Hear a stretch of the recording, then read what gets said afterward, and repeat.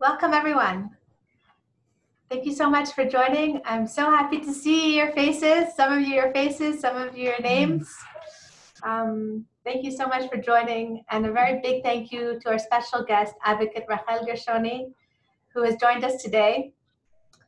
Uh, welcome to this online lecture on combating human trafficking, hosted by Mashav, Israel's Agency for International Development.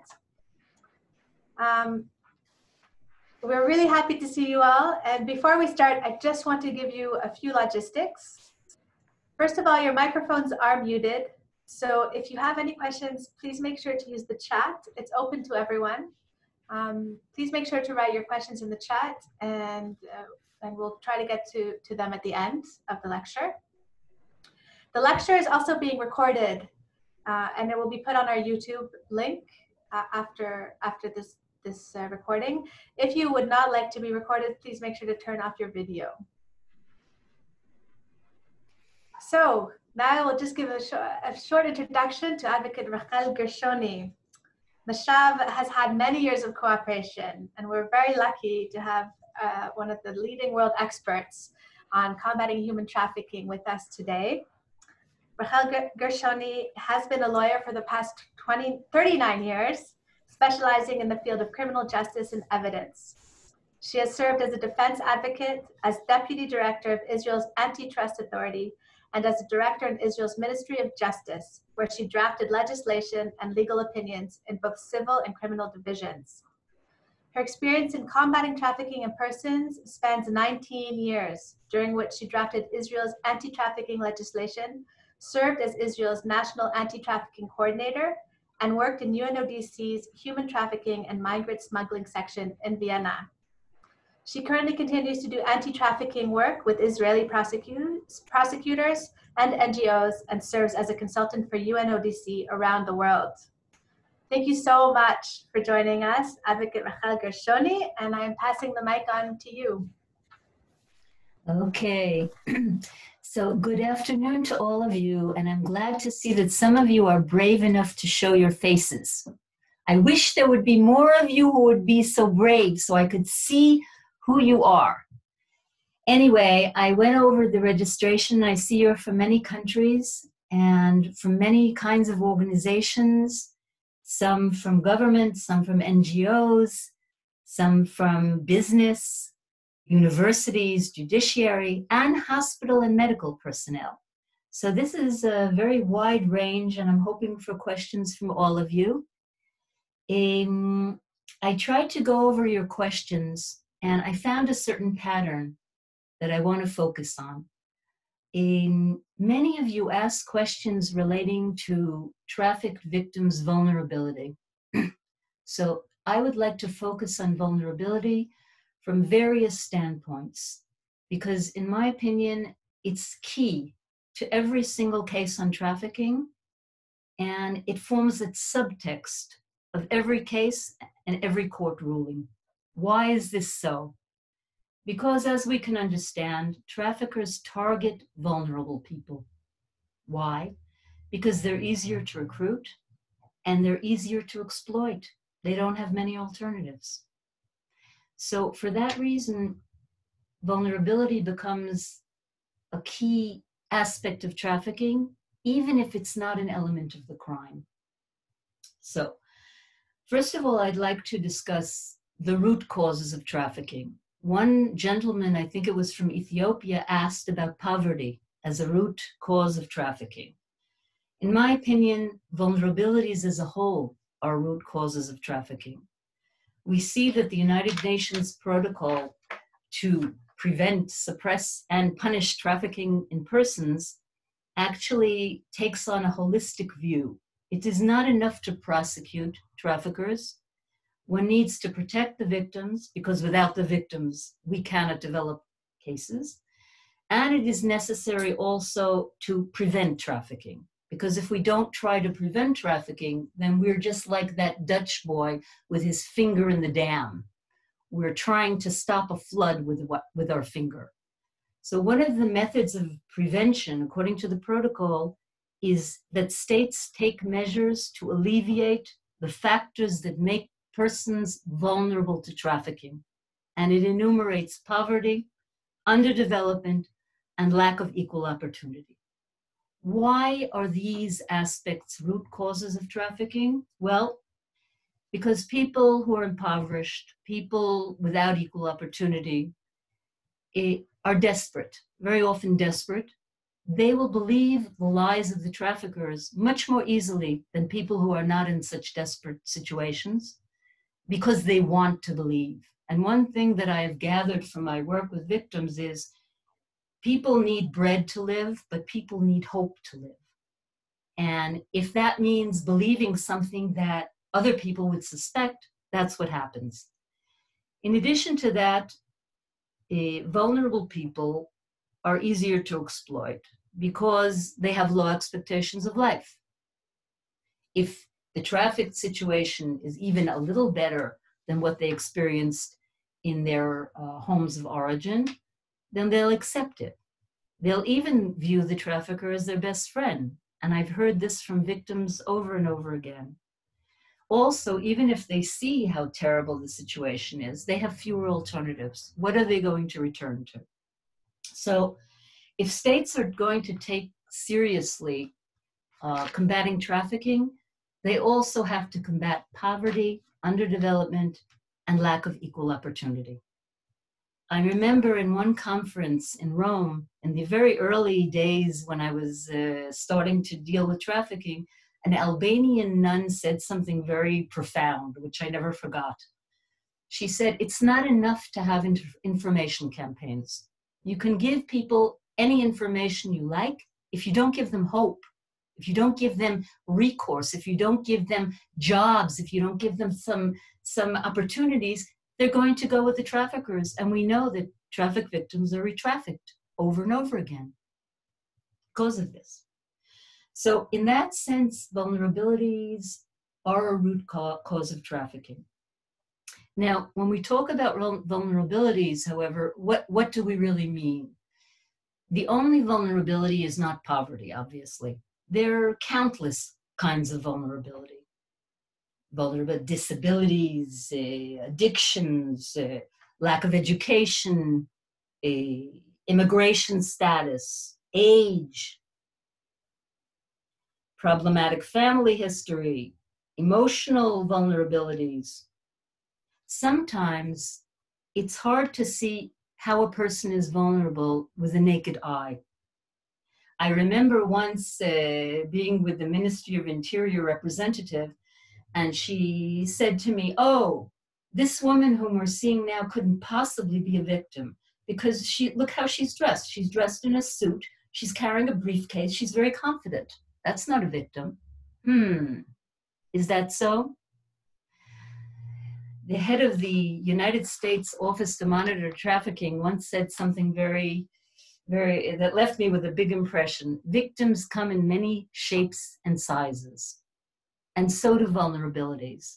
We may see a woman standing in a suit with a briefcase. She may not show her vulnerability, but she may be vulnerable. And here again, I want to convey to you um, a an insight that I heard from an Israeli prosecutor whose name is Dalia Avramov. Dalia said that traffickers are like deer hunters. They have a capacity, they have a special talent to identify vulnerabilities, even if we don't see them.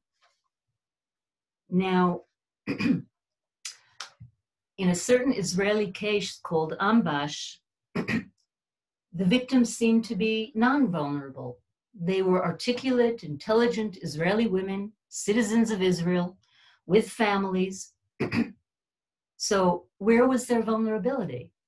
Well, in that case, the judge dug deeper. And that's what we need to do to dig deeper. And he found that these people were lost and damaged souls with an attraction toward religion who were in crisis and searched for direction and a path in their lives. He also stressed their problematic family backgrounds and the injuries they had suffered in their past lives. So, some injuries, some vulnerabilities cannot be obvious. And I want to give you an example of something we call emotional vulnerabilities. Unfortunately, in trafficking, we see a prevalence of family members who traffic their family members. We also see a prevalence of a people who pretend to be romantic partners of the victims and traffic them. The, these kind of situations create emotional vulnerabilities. Why? Because if the trafficker is your family member or your romantic partner, you love him or her. You trust him or her, even when you find out the truth. And sometimes it takes a long time for you to realize the truth because the person is a loved person. It, you don't want to you don't want to report him or her and you don't want to testify against him or her.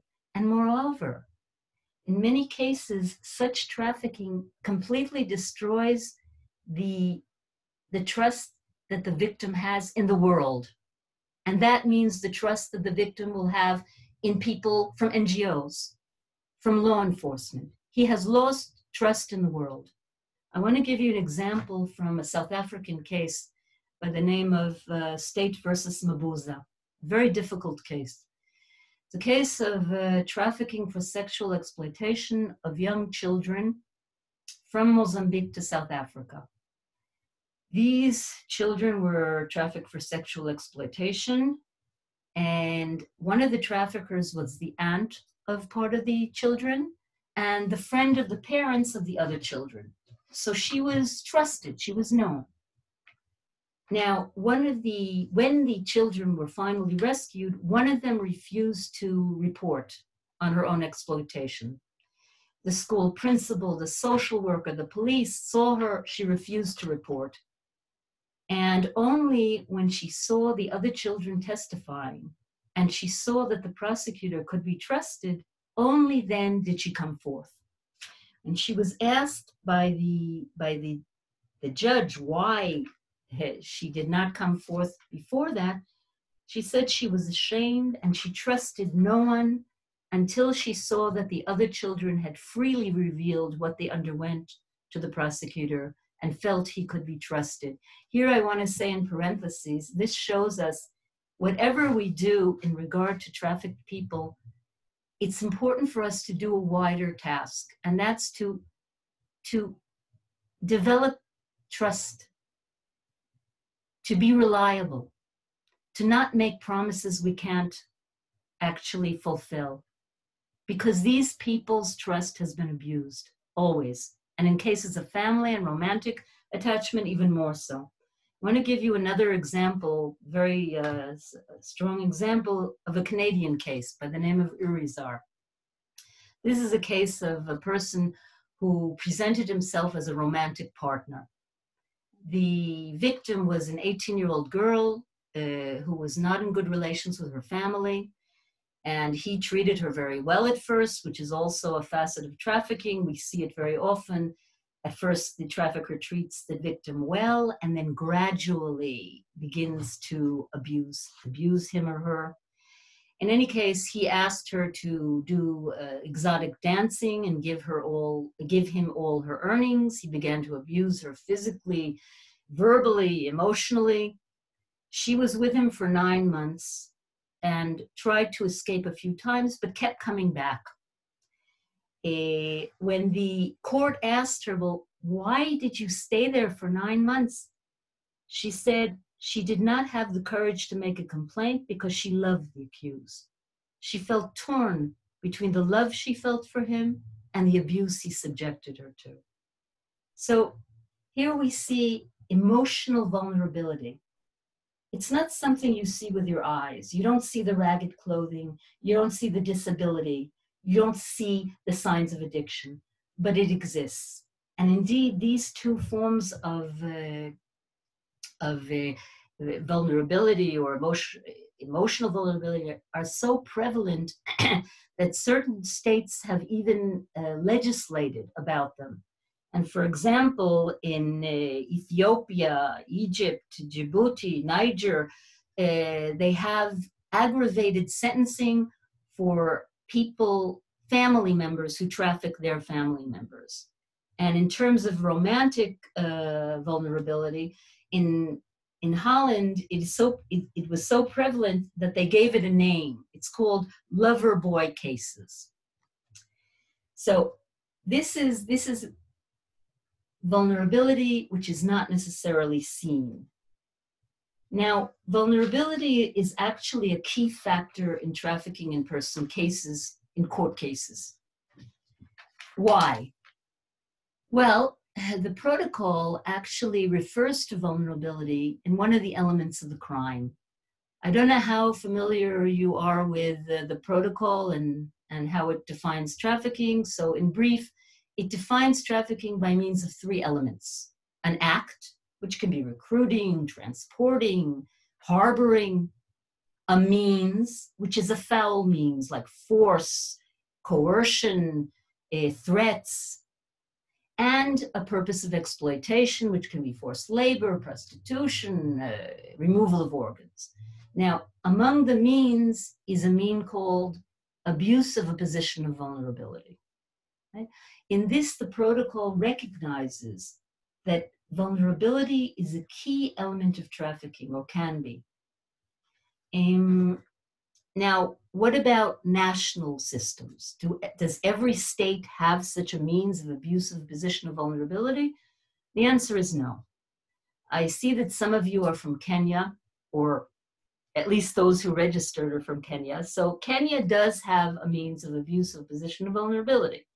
On the other hand, I saw that there, there are some people from Nepal. Nepal does not. So is vulnerability only relevant to states which include this element in the definition of trafficking? The answer is no. Whether or not your legislation alludes to vulnerability, it's key and can make the whole difference between exoneration and conviction. Why is this so? This is so because in every case of trafficking, victims behave in a way which is surprising. A, a, Namibian judge, I think he was the deputy, he is the deputy chief justice of the, their Supreme Court, said something uh, very interesting here. He said, Vulnerable people do not behave like you and me, they behave differently. And in order to understand their behavior, we have to take into account their vulnerability. Well, so what kind of behavior seems surprising? And we'll deal with it in yet in more depth uh, later. Well, first of all, you look at the, the victim was recruited uh, by means of deception, which was very clear that it was a lie. How did they believe it? the victim stayed with uh, i've seen cases where victims stayed with their abusers for 20 years well why he had opportunities he could have he could have gone uh, he could have escaped when uh, when uh, they allowed him to go to the grocery store. Okay? The basic overreaching question that arises in trafficking cases is why is this victim behaving differently than i would? As a judge, as a prosecutor, as a police officer, as an NGO. And if the judge understands the vulnerability, then he will understand aha, this person was vulnerable. That's why he's behaving that way. But if he doesn't understand vulnerability, he's liable to exonerate. I want to give you two examples of Israeli cases where this made all the difference and it's particularly interesting because is, Israel does not have a requirement of means at all. In other words, vulnerability does not appear in the Israeli law. And yet, vulnerability made the whole difference. So, in, in one case, the case that failed was a case of a charismatic uh, leader who gathered around him a group of women and children and controlled every aspect of their lives. Even they couldn't even buy a bottle of water without asking for his permission. They weren't allowed to speak to one another. They weren't allowed to uh, work in anything but but uh, taking care of um, domestic work or or cleaning work Uh, he he persuaded them to give him all their earnings in order to finance his uh, luxurious lifestyle. The court exonerated him from slavery. And the reason that the court exonerated him was because they couldn't understand the victim's vulnerability. They said, look, these are Israeli citizens, articulate, intelligent, who came from normative family backgrounds. They knew very well the difference between a normative life and the life that they led under the uh, accused person. So, why didn't they leave? He didn't exert violence, it was only psychological means. In other words, the judges could not understand where was the vulnerability. Why were these women not behaving as I would behave? In a similar case, which I already mentioned, the Ambash case, very similar, it's very interesting. I didn't know how many charismatic people there were in Israel who gathered around themselves, women and children, but apparently it is some kind of phenomenon because now there's a th- third case that I saw. Anyway, in this case, again, charismatic man gathers around uh, the group of women and, and children and uh, first treats them well, gradually begins to abuse them, controls every aspect of their life. Again, articulate, intelligent Israeli citizens coming from normative backgrounds. But here, the judge dug deeper. And as I, I, I uh, quoted him before, he found the vulnerabilities. He found that even though they seemed to be just regular Israeli uh, citizens with normative backgrounds, they were lost souls searching for a path in life. Some of them had hard family backgrounds. Some of them, one of them, for example, he found that she had a psychological disability, which was not uh, evident at first, that she had been divorced three times. Not that there was anything wrong with that, but she had been divorced three times. And she um, uh, also, let me see what else he said about her. Yes. Hmm. No, I, I guess that's about all he said about her.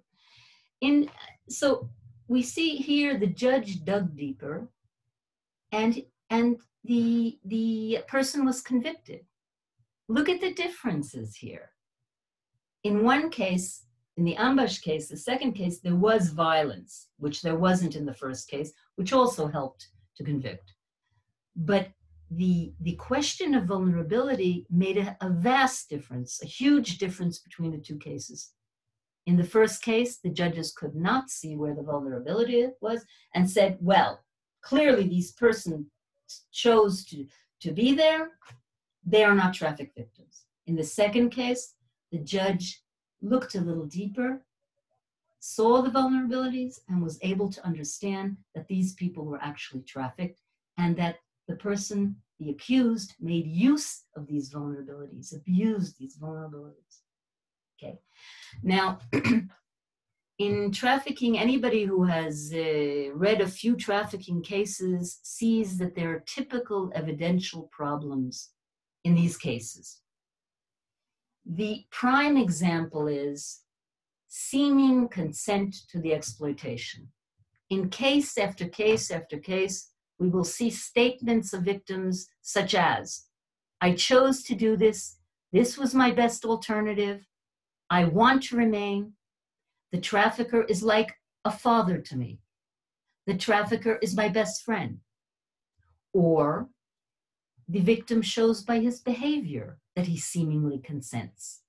He fails to escape and seek help at the first opportunity. He returns to the abuser time and time again, as we saw in the Canadian case. Two victims can have very different reactions to the same trafficking uh, uh, process. How do we how do we explain this? Well, one of the ways that we can explain these typical evidential issues is by means of vulnerability. And here I would like to give you a few examples. One is a case from the United Kingdom, the Connors case. It's a case of homeless men uh, who were, many of whom were addicted to alcohol, who were recruited by the members of a family who had a landscaping business. And they were abused physically, emotionally, humiliated, and verbally. Uh, they lived in horrendous conditions, no safety measures. In one case, somebody, uh, one of the victims, fell from a height. He was taken to the hospital, but forced to come back to the site after a day or two. So these were horrendous conditions. Okay? Now, some of the victims fled, but the others remained. And the question arose well, why?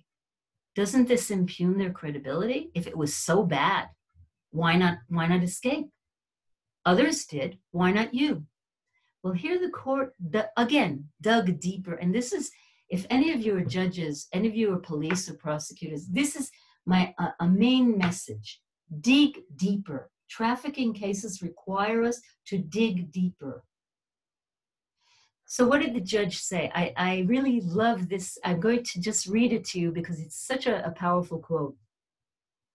He says, One manifestation of the level of control was that many of those exploited were effectively deprived of the le- will to leave.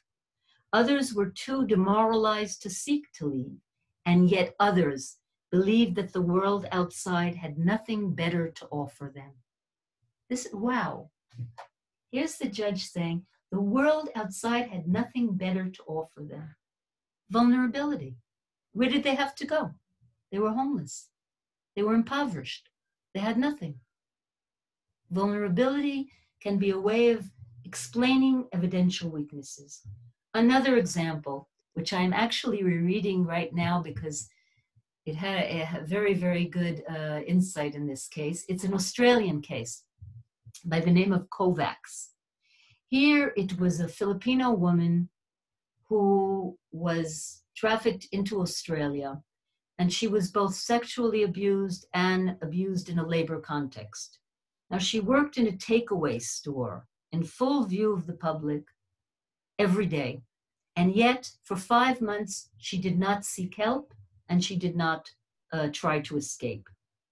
Now, the court uh, understood this behavior as a function of her vulnerabilities. Her family was in a situation of dire poverty, and she had come to Australia to try to send them money. Her mother was very ill, and she didn't want to add to her problems. She was not fluent in English. She did not have one friend in Australia she didn't understand the culture of Australia, so that when the accused told her that if she, she divulged anything, she would be arrested, she believed him. So here we see that the court does not see her failure to escape as a weakness in the case. The court understands this failure in the context of her vulnerabilities. Where could she go?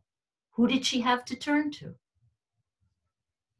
Another extreme case, which I must, even though I don't have much time, but I, I must uh, give you the story of this case because it's, it's so powerful. It's a Norwegian case.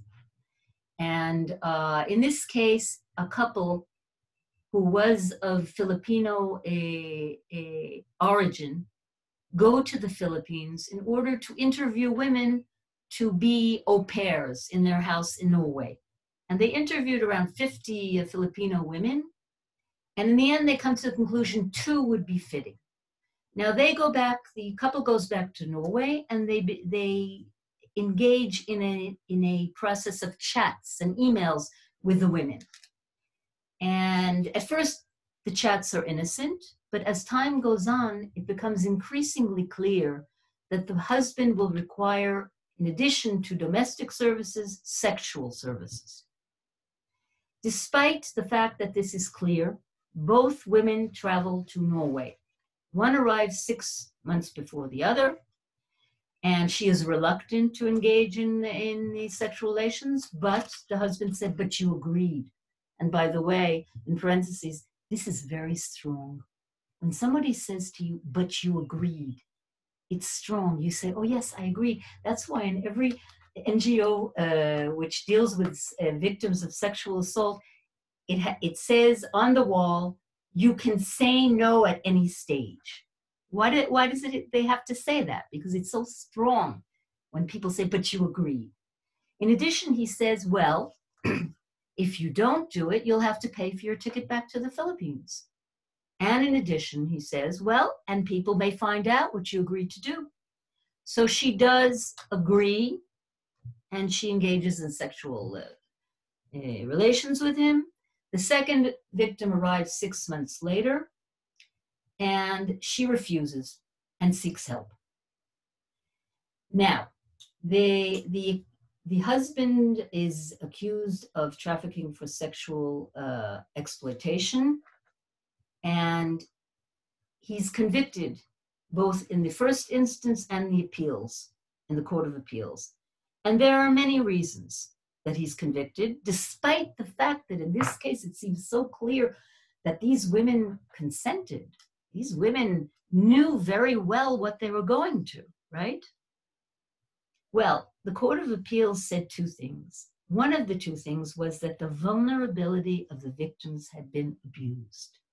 In other words, their consent was damaged. They, there was not full and genuine consent here. They were poor women.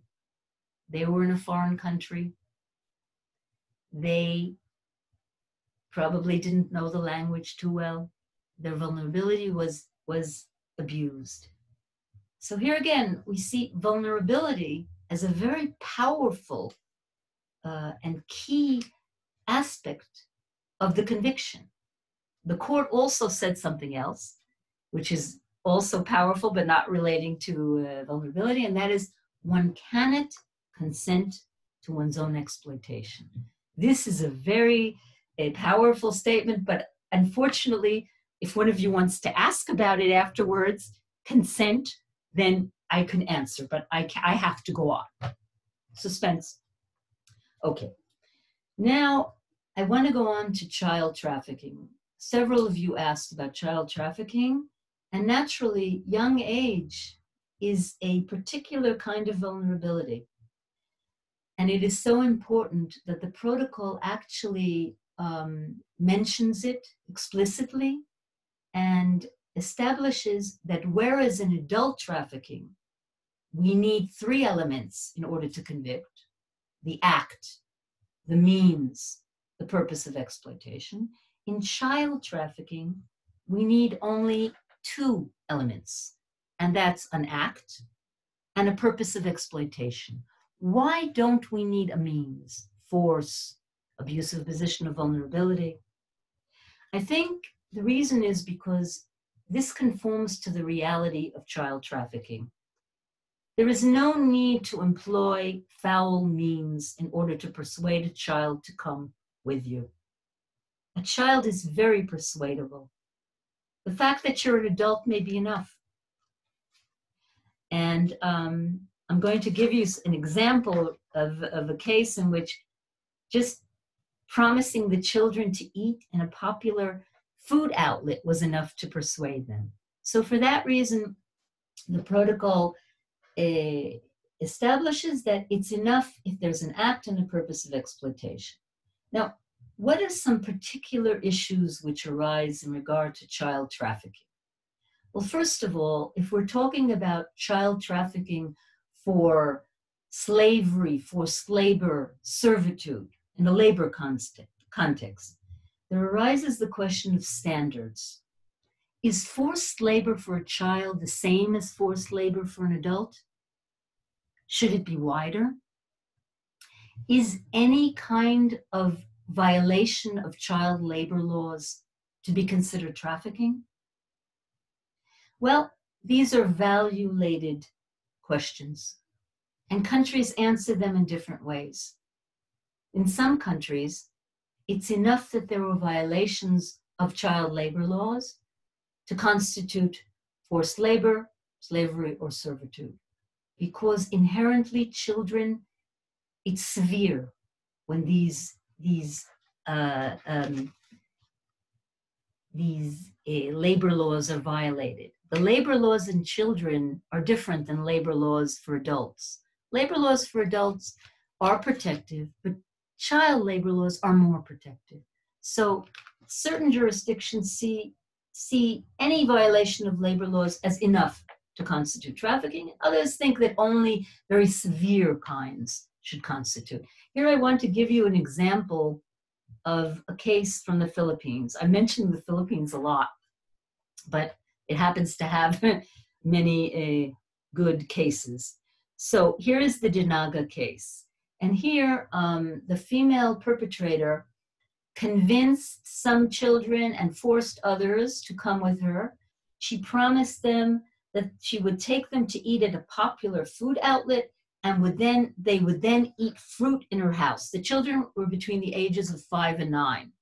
And she then persuaded them to beg and took all the earnings that they got from begging. She was convicted of trafficking for forced labor. Now, forced labor requires a lack of voluntariness. So, what did the court see as the lack of voluntary behavior by the children? Her inducement to feed them food that they particularly liked. I, I wonder if, if that would have been the case for an adult. Perhaps it would have been a, the case for an adult with a disability. But a regular adult promising him to give him food, uh, you know, that's uh, in, in, a popular outlet, I don't think would be considered a, a, enough of an inducement to constitute forced labor. There's another case from the United States, Kozminski, in which they say this in, in a very direct way. They say a child who is told that he must go home late at night in the dark through a strange area may be subject to physical coercion that results in his staying in an exploitative situation, although a competent adult plainly would not be. This is very interesting. You tell an adult, well, you'll just have to go home at night alone, so he'll go home at night alone. But that's not the case for a child. In that case, it might be considered a situation of forced labor, slavery, servitude. So that's one question, particular question, which arises in regard to child trafficking. Another question is the cultural context. And naturally, this is also the case in, with adults, but with children, there are various cultural uh, customs. For example, I worked a lot in the Southern African region, and I know that there, there's a practice of children herding cattle. In the Pacific Islands, there's a, a custom of letting children or having children uh, go to distant relatives on another island where they sometimes work very hard.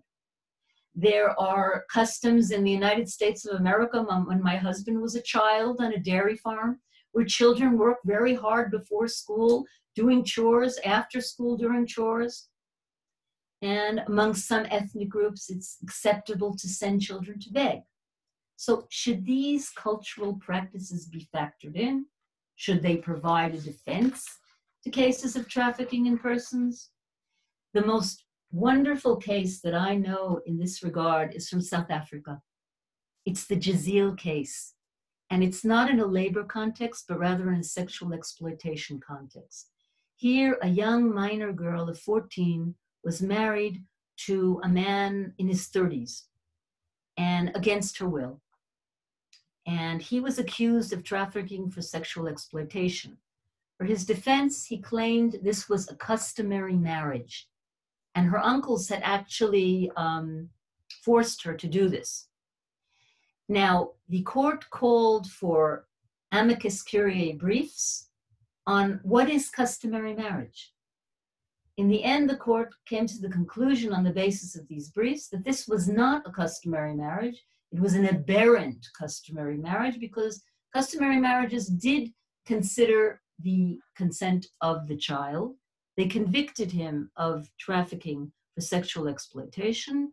And um, however, they did uh, mitigate his sentence because he genuinely believed he had been engaging in a customary marriage. Now, some countries actually have legislation which alludes to cultural practices. Zimbabwe and Zambia, for example, clearly state their trafficking laws. Cultural practices and beliefs are not a defense to trafficking in persons cases. In other countries like Uganda, child marriage is expressly included as a purpose of exploitation. Now, in addition to this, there are a few cases regarding children sent to beg in Roma families, and there is no unity between how, among countries, how they deal with this. Thailand has a very interesting uh, approach where if the whole family is begging, then uh, they do not uh, charge the uh, parents because they think it, they're doing it for survival. There's no intention of exploitation. However, if only the children are sent to beg, then uh, they do charge. Um, okay. Now, I wanted to talk about the impact of vulnerability on victim identification. Several of you asked how, how do we identify victims? And of course, there are many tools, many uh, organizations have developed tools how to how to um, identify victims of trafficking. Uh, UNODC, ILO, uh, the Polaris Project. There are many many kinds of indicators. Um, however, I at this point will limit myself to the question of how vulnerabilities influence our ability to identify. First of all, um, I'm very frustrated very often by police who wait for complaints. Now, trafficking victims do not usually self report for any number of reasons. First of all, they may not consider themselves victims. Second of all, they may not be in a position where they can uh, uh, report. They're in isolation. Um, it's, of course, far better to be proactive and identify what are the weakest links in your society. Because among those weakest links, there will be trafficking, without a doubt. Traffickers draw their victims from these weakest links of society. These can be foreign workers, these can be domestic servants who the umbrella of labor law does not always uh, cover. Uh, it can be ethnic minorities, impoverished people, people who are addicted. There was a very difficult case in South Africa, the Eze case, in which addicted young women were trafficked and controlled by the trafficker, giving them or not giving them their drugs. So, this this kind of proactive identification of the weakest links and and making priorities okay now we are going to go and we are going to check what's happening in the agricultural section and of course this requires also coordination with other um, practitioners labor inspectors for example police can't do this by themselves so hospital personnel social workers, NGOs. So, this is one way I would say that vulnerabilities impact on identification. In order to identify, we need to be proactive, and we need to be proactive with the weakest links in the society. Another way, as I said, victims do not usually self report. And this is partially, besides uh, the fact that uh, some of them can't report because they're in conditions of isolation, it also arises from vulnerable victims' low expectations of life. Um, so, if victims do not consider themselves victims, obviously it becomes harder to identify them. So, in this way, too, I would say that vulnerabilities impact on our ability to identify. And this is another reason why we need to be proactive. Another subject with some of you raised was how can the public help combat trafficking? can the public help?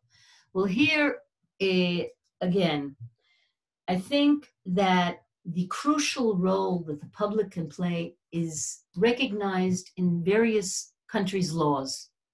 Israel is one of them, but in many southern, in many African uh, nations, I've noticed that there's a duty to report.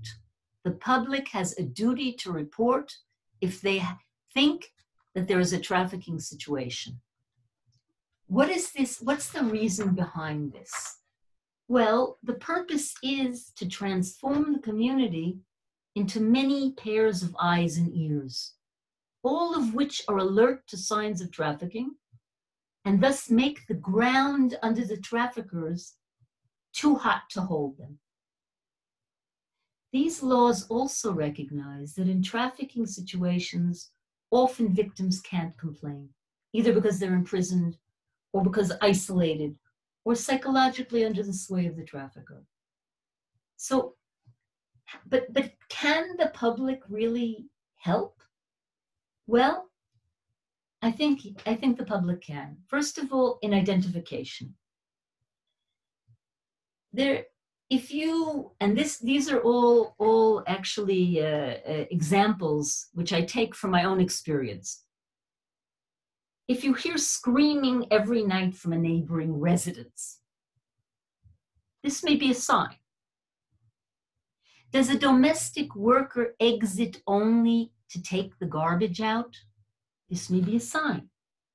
Do you observe that on a work site, the conditions are dangerous?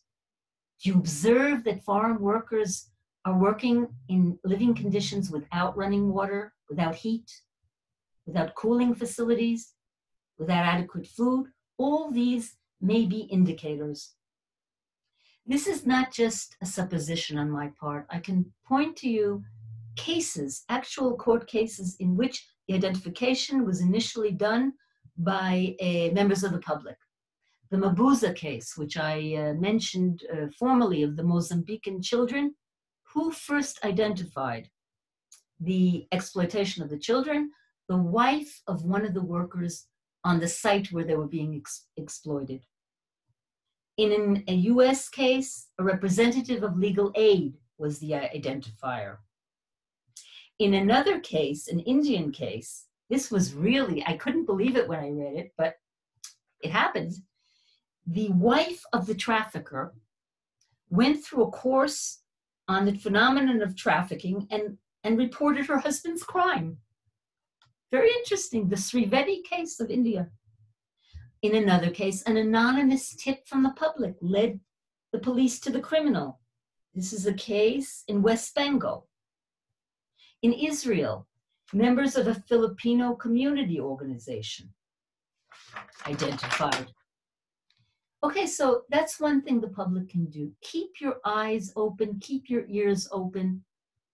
If you see something, suspicious, report it. But there's more. There's also rescue support and protection. And here I can give you ex- actual examples from cases. For example, we mentioned the Kovacs case of Australia, the one where the woman worked in the takeaway establishment. Who rescued this woman? It was the estranged daughter of the trafficker. The woman had no friends in Australia, at one point, the trafficker went on a vacation, and his estranged daughter came to the house, and the woman broke down. This woman helped her, gave her money, and, and rescued her, allowed her to escape, gave her a ticket. Another case is the Ramos case in the United States, where transport workers who passed through the site and saw the exploitation rescued the workers. In the case of Warren, a nun who had come to the site rescued. In the case of the Alzanki, United States case, a nurse helped. So we see that rescue. And I myself have experienced a few cases where clients of prostitution, whom the women told their story to, actually bought the women and thus rescued them. This is from my own experience. Now, in addition to that, if you're a health professional or run a hairdressing salon, perhaps leaving a few leaflets on the table, because sometimes this my hairdresser told me actually, which uh, is kind of a funny uh, experience. He said, "Oh yes, you know that the pimps are bringing all the traffic women to my hairdressing establishment because they have to look good." So, I guess sometimes traffic people come to hairdressing establishments. Sometimes they might be taken to a doctor. I know that this happened in Israel to a certain clinic, which we have in Tel Aviv. So if you have leaflets on the table giving the women or giving the men a place that they can call, or what can they do? This could help. There are volunteer professionals like psychologists and social workers who volunteer to help victims. And there are businesses. For example, in Israel, the shelter mediated with certain businesses who gave trafficked women jobs. And so these are all things that members of the public can do. Um, I, huh, I actually uh, have run out of time, but I do want to say one last thing. Concluding thoughts before your questions. This was something that actually came to me when I was in a workshop in Zambia from lack of sleep. Because when you have lack of sleep, it's like a drug. So your mind is working in a way better. So I thought to myself, you know, wow, you know, trafficking is a severe crime. It violates the autonomy, the dignity, and the freedom of the human being. Okay? But if we if we look at the elements of the crime and we interpret it technically, we can come to absurd results. I don't know if any of you have read uh, the American book Tom Sawyer. Just raise your hands, you who are are whose faces I see. Uh, ah, I see two people have read Tom Sawyer. Okay, well, I'll tell the story. This is a book uh, about a boy, uh, a boy, you know, in the south of the United States. Okay, so at one point, his Aunt Polly punishes him. And she says, You will get a punishment. You have to paint the fence. So he starts painting the fence. I think it's on a Sunday and a group of children gather around him and start laughing at him. Ha ha ha, you have to paint the fence. And he says, Wow, I am having so much fun. This is the best in the world. I wouldn't let anyone do this. Wow, uh, and no, and the children say, why? what's so? He said, Look, look how I'm painting it. It's just coming out so great. And the children say, Oh, can we do it? Can we? No, no, no, you can't do it. Please, can we do it? Please, we'll give you some. Please, can we do it? Oh, all right. In the end, the other children end up painting the whole fence. Now, if we were analyzing this case as a case of trafficking, okay, all the elements are there. Tom Sawyer recruited the children, okay? He abused their vulnerability, even though in child trafficking we don't even need that, okay? And they did forced labor because forced labor doesn't necessarily mean physically forced. It can also mean that he exerted psychological means. Okay? So Tom Sawyer trafficked these children. Now, this is an absurd result. This is not trafficking. In order to, to evaluate if something is trafficking, we need more than the bare elements of the crime. We have to get a feel is this severe enough?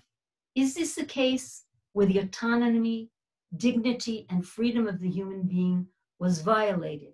Is this against the moral imperative which the philosopher Immanuel Kant uh, um, uh, established? That one never treats a human being as only a means to an end, but also always as an end in himself. And I think this is the question we need to ask. Okay, questions.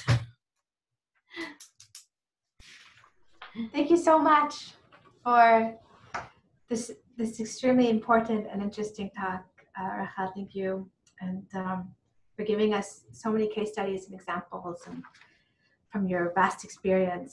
I'd like to start with the first question um, about this, what's happening now.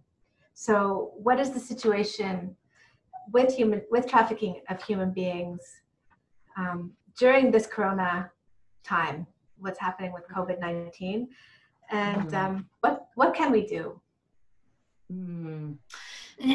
okay so it's a question we're all asking ourselves And of course, this period is not actually a period where we can do field research. So all I can do is speculate. And what I'm going to do is speculate on the basis of analogies and on the basis of things that we do know. So, first of all, I would say that unfortunately, this pandemic creates a very good climate to more easily recruit people and to more easily exploit them. Why? Well, again, vulnerability. Take the homeless.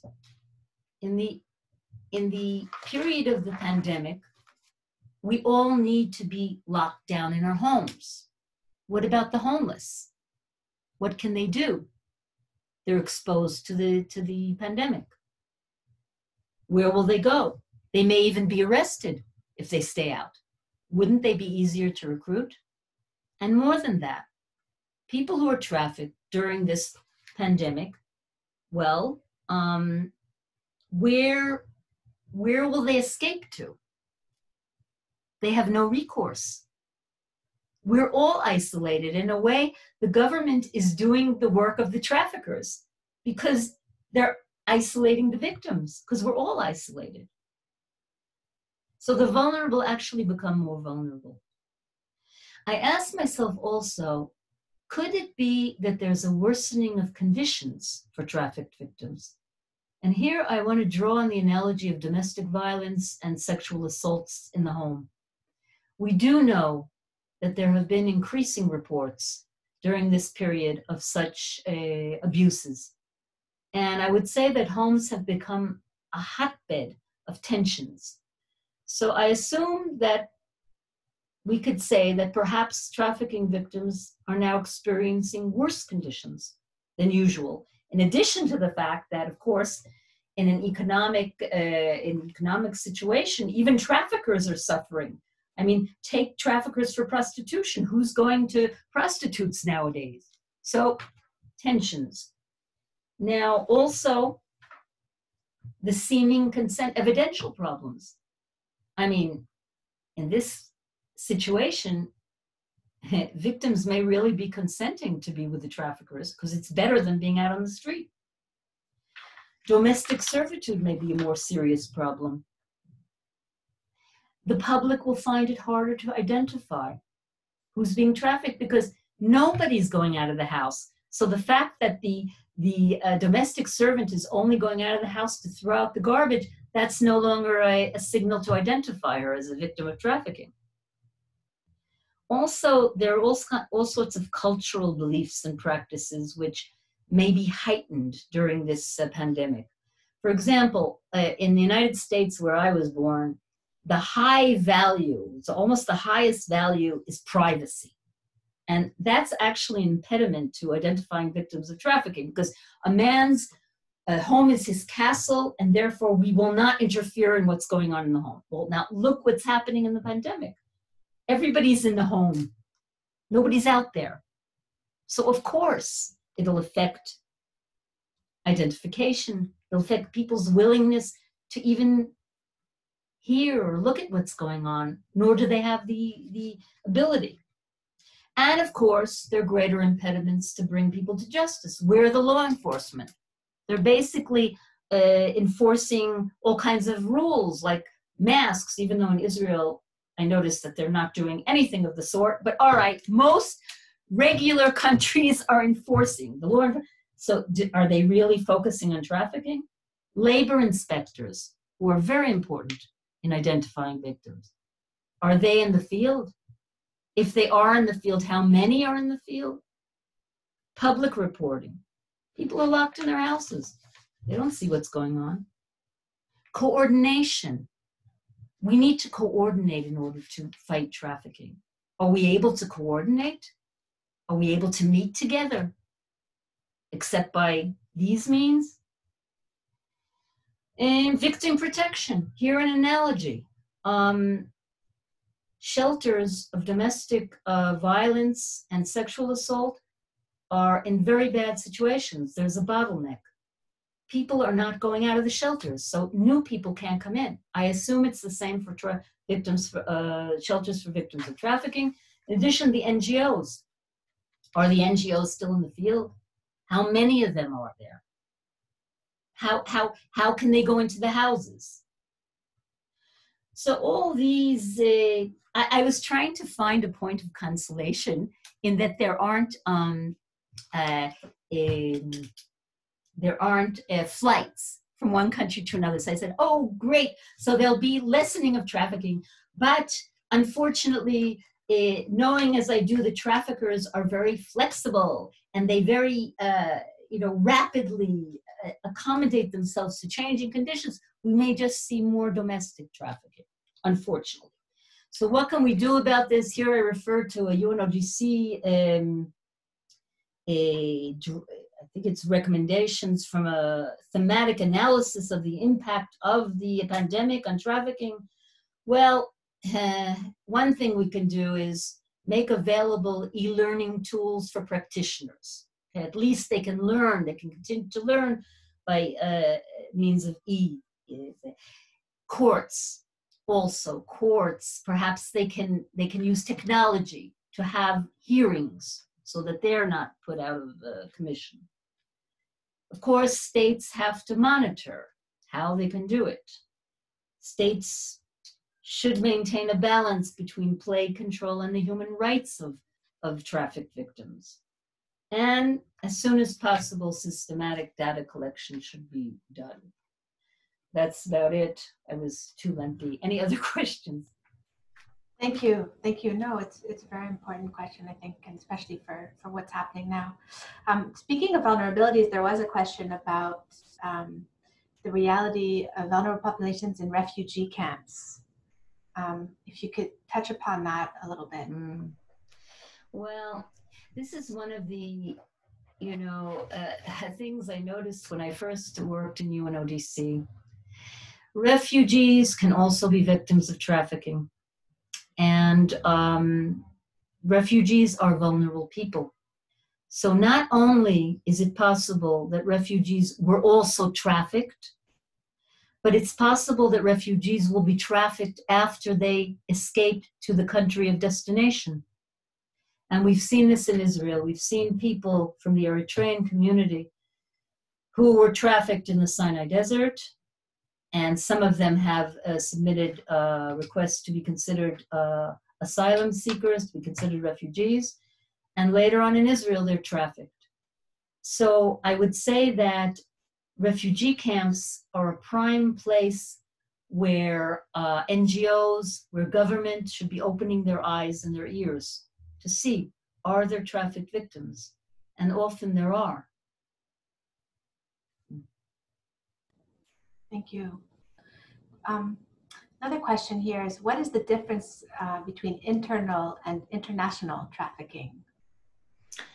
Well, uh, look, the truth is the patterns are very similar, just that in international trafficking, it's more complicated because in order to identify and in order to prosecute, in order to investigate, one must cooperate with the other country.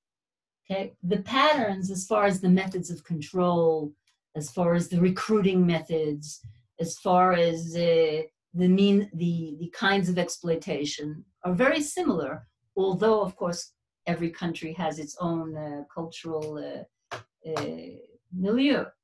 But the real difficulties are how do you how do you bring people to justice when part of the the um, the acts were committed in one country and the other acts in another country, and this is this is a tremendous challenge. I must I must say.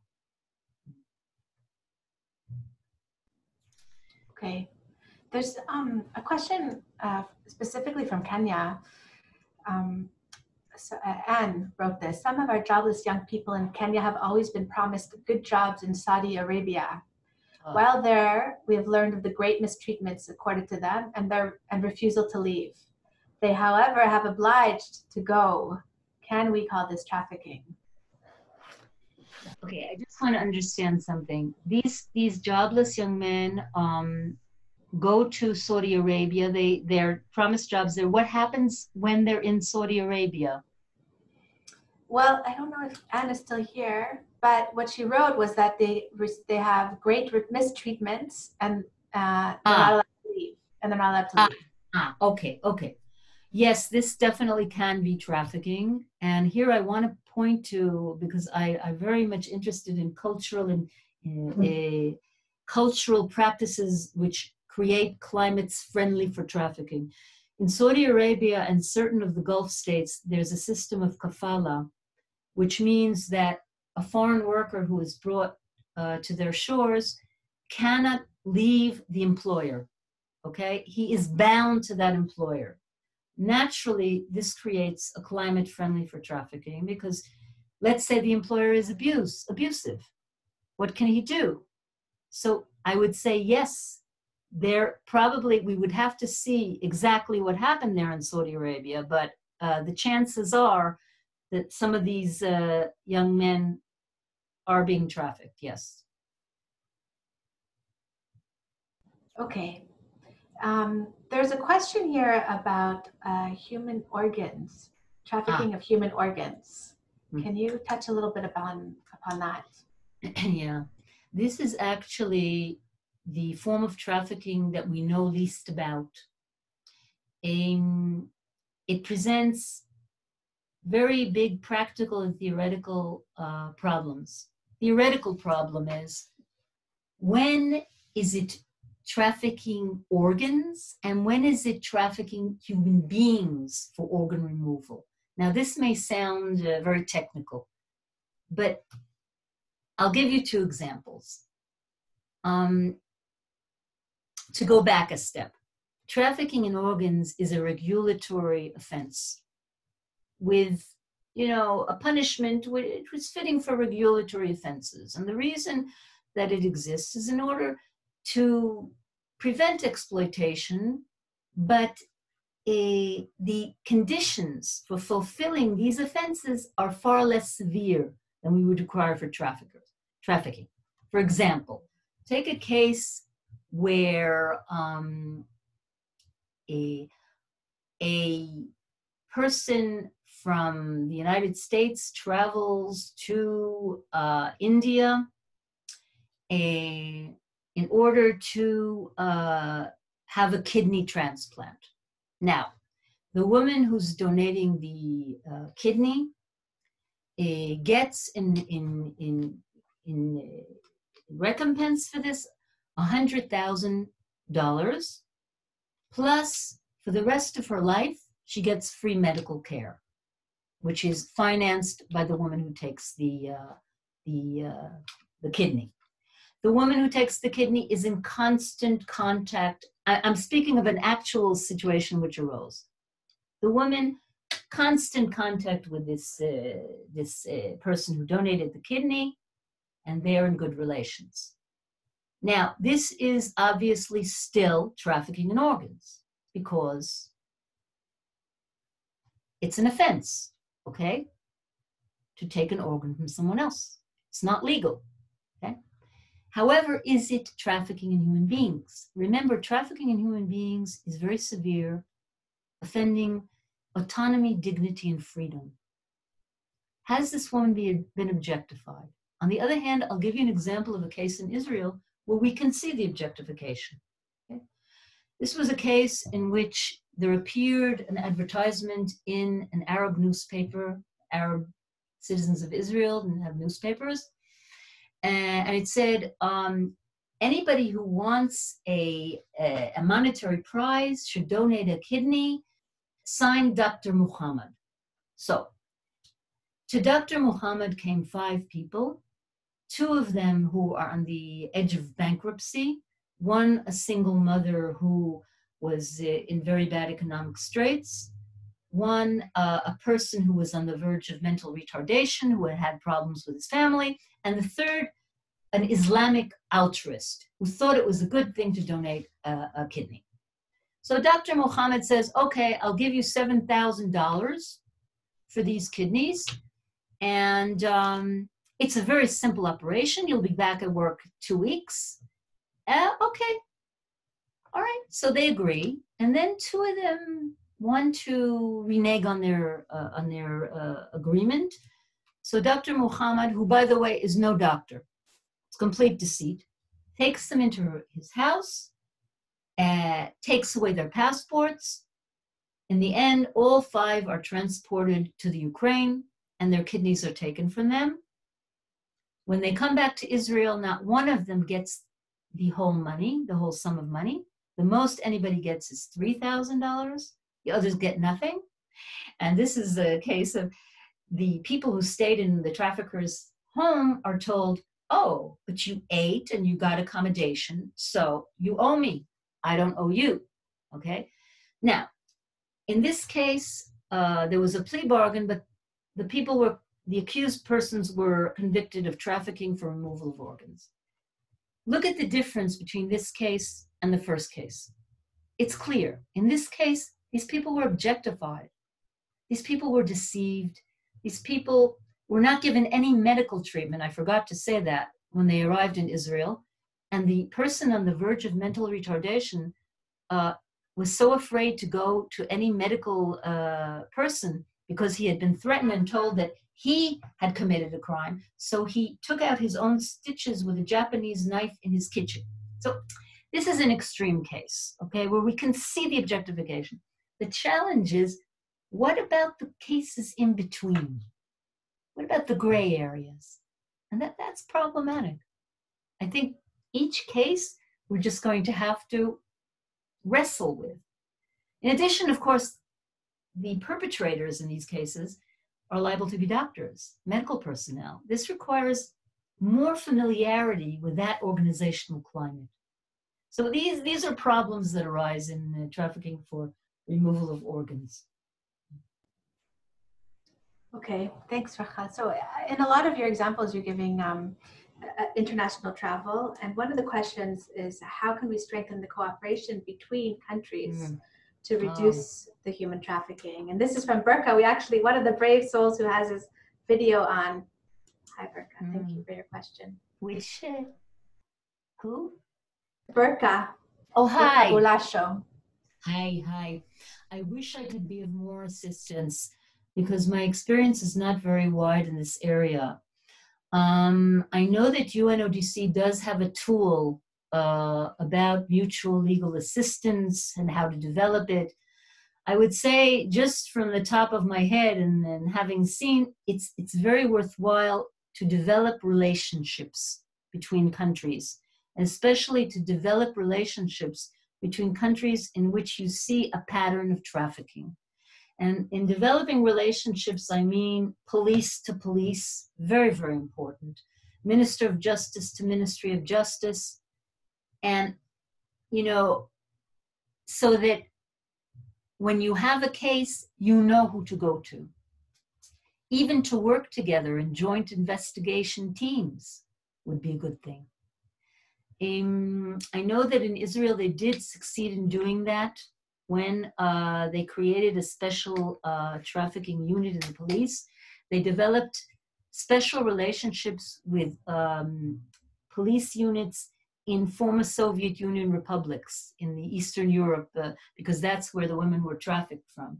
And as a result of that, they did succeed in uh, in extraditing major um, traffickers, one who was called Tarzan if you like, uh, I can give you a link to the uh, UNODC um, tool, if, the, if that might help, or I can give it to Sarah. Uh, you know, maybe that would help also. But I think that uh, you would need to consult a greater expert than me about that that subject. Sorry that, yeah. Okay, so yeah, you can send me the the link and um, if anyone's interested, uh, you have our email in your in your in the email that you received for the link mm-hmm. to the Zoom. So you can send me an email, and we'll send you we'll send you the link. Oh, by um, the way, do, I don't know if you have a, a, national coordinator in your country. Do you? Burka? Burka? Let me unmute you. Sorry. What country are you from? From Ethiopia. Ethiopia, do you have a national coordinator? Yeah, yeah, Well, yes. He should be a person who, who should be helping to do this. I say this as a former national coordinator. It's, anyway, okay. Okay, thank you. Thank you. Um, so, um, with your experience in Israel, I think we have time for one more question. And there's a question about what uh, strategies do we do here in Israel for awareness and awareness building in human trafficking? Well, this is more, uh, you know, probably to the to the current national coordinator. Can only answer from the past. Well, first of all, uh, some of the things we did were uh, to produce a leaflet for the public. Okay, how do you identify victims of trafficking?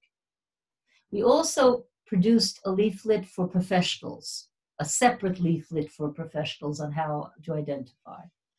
Another thing is constant trainings, constant trainings of various um, practitioners. And I think that bringing them together is terrifically important because there's something to be said for training prosecutors separately, labor inspectors separately, police separately. Though it's very important. But to bring them all together develops a tremendously heightened awareness.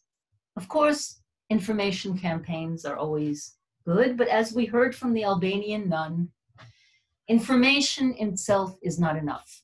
Okay, we need we need to give hope.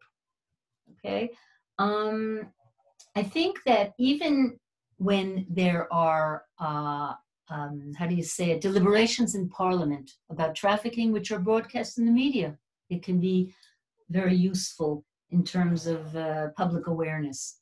I know that in our case, we had a member of parliament who was called Zahava Galon, who did a series of, um, she was head, uh, chairman of the trafficking committee, and she did a series of, of meetings which were, which changed the entire public climate in Israel.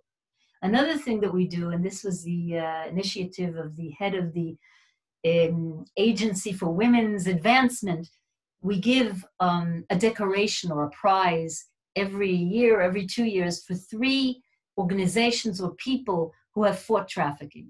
And this, uh, again, is in the media, and it also gives positive feedback for people who are fighting and uh, alone, or give it to an NGO, a government worker, and an individual who has uh, fought trafficking. So th- these are just a few. I'd say also turning to businesses is very important. For example, in the tourism, one of you asked the question about the tourism industry. And one of the things that my colleague, when we were in the coordination, did was have a series of meetings with the people in the tourism industry, how to develop an ethical uh, guidelines of how to deal with trafficking, because hotels are notorious for harboring uh, uh, victims of trafficking for prostitution, for example. Anyway, th- those are just things off the top of my head. Great, great. Thank you. Thank you so much for joining us. Uh, I want to give a very big thank you to you, Rachel, for taking the time and for sharing your vast knowledge with us. And um, It was actually fun. It was a lot of fun. I'm so happy to hear that it was Because I fun never to. Yeah, no, I never addressed it only from vulnerability, so it was learning for me. Yeah, Yeah. it was, uh, and, and for all of us. So thank you again. And thank you to everyone for joining us today.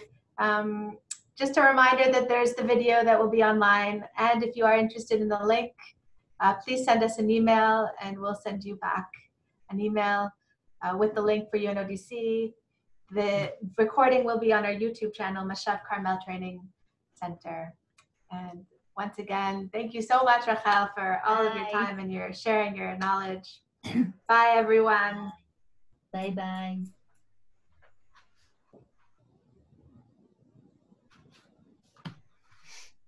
Hmm.